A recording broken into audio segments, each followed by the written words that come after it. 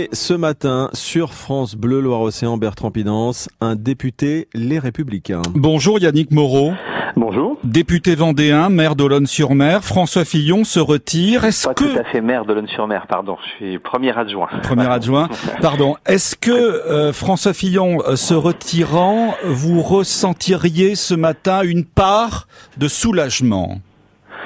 C'est-à-dire que je pense qu'il aurait dû le faire plus tôt parce que le vrai problème de l'échec de François Fillon et de la droite dans ce premier tour de l'élection présidentielle, c'est que nous avons payé cher et le climat des affaires, mais peut-être payé encore plus cher le reniement de la parole donnée aux Français. Et malheureusement, euh, ça s'est traduit par le résultat de dimanche soir. Pendant la période électorale, c'était pas le moment euh, évidemment euh, de taper sur le candidat qui avait reçu l'onction euh, du légitime de la primaire, mais force est de constater a posteriori avec le résultat de dimanche soir que les Français n'ont pas accepté qu'un homme dise devant tous les Français que s'il était mis en examen, il ne se présenterait pas et qu'il le fasse quand même. Je pense que ce, on a perdu là les trois points qui nous permettaient de qualifier les idées, les valeurs de la droite à un scrutin majeur. C'est la première fois depuis la naissance de la Ve République que la droite n'est pas présente au second tour d'une élection majeure. Ce qui veut dire qu'aujourd'hui, il faut régler les comptes. Non, ça veut dire qu'il faut, au contraire, il faut se réunir, mais simplement, faut tirer euh, les leçons de cet échec. C'est un échec euh, pour la droite française, c'est un échec euh, pour François Fillon, évidemment.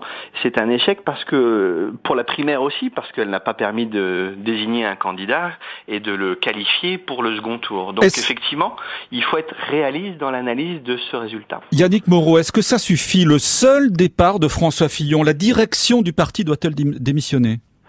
Non, je pense que, évidemment, François Fillon n'est pas le seul responsable, mais il porte une responsabilité première dans cet échec. Et l'heure n'est pas à la division au sein de la famille, l'heure est à la reconstruction de A à Z, du sol au plafond. Sinon, on, ne va pas exploser comme le Parti socialiste, mais on risque d'imploser. Et moi, je ne souhaite pas euh, l'implosion de ma famille politique parce que je pense qu'elle euh, n'a pas été battue dans cette élection. Mais reconstruire comment, Yannick Moreau? Parce que reconstruire, d'accord, mais vous prenez les mêmes euh, et, vous recommencez ou vous, vous allez plus loin, vous changez L'une des leçons de, de ce scrutin, c'est qu'il y a une aspiration profonde, forte, au renouvellement. Mais vous savez, nous à droite, euh, on est euh, bonapartiste et on a besoin d'un chef dans lequel on se reconnaît. On désigne pas un chef d'un parti politique en deux jours. Euh, on est un parti démocratique et donc on vote pour euh, un président qui nous conduit à la bataille. Là, en l'occurrence, on n'a pas le temps d'organiser des élections internes pour aller à la bataille des législatives. Et donc, le problème, c'est qu'on était face à une élection imperdable il y a six mois, qui est finalement perdue, et euh, on va sauver euh, le maximum de meubles possible pour essayer de porter un message d'alternative à Emmanuel Macron et porter une majorité à l'Assemblée nationale dans un processus de cohabitation qui serait salutaire pour le pays. parce que moi, je n'ai pas du tout envie de vivre cinq années de François mais vous Hollande dites, de plus. Vous, dites renouvellement, mais vous en faites quoi des élus locaux? Vous allez Emmanuel Macron. Vous en faites quoi des élus locaux Ceux qui sont déjà en place, vous dites renouvellement, on croira entendre Emmanuel Macron. Je suis un élu, je suis un élu local, local moi aussi. Je dis renouvellement des pratiques, renouvellement euh, de, de des, des, élections et des cadres du parti. Vous, vous, ne pouvez pas confier les responsabilités à ceux qui ont échoué. Et donc il faut effectivement de nouvelles élections internes, mais malheureusement, elles viendront après.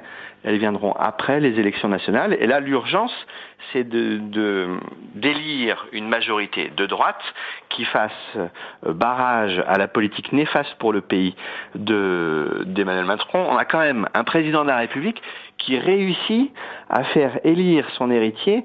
S'il y avait un prix, Nobel, un prix Nobel de la manipulation politique, c'est François Hollande qui l'obtiendrait en faisant élire Emmanuel Macron aujourd'hui. Second tour à la fin de la semaine prochaine. Yannick Moreau, est-ce que vous voterez Emmanuel Macron?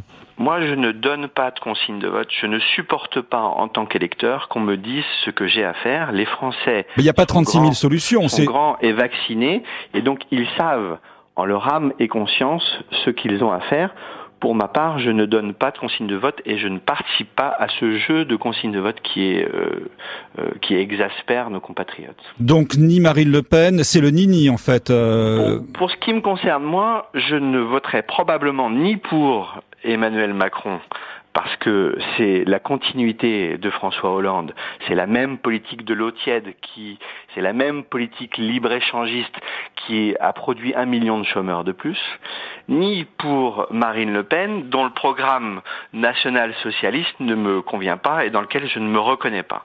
Donc euh, je pense que les uns et les autres posent des bonnes questions, euh, mais apporte de mauvaises réponses.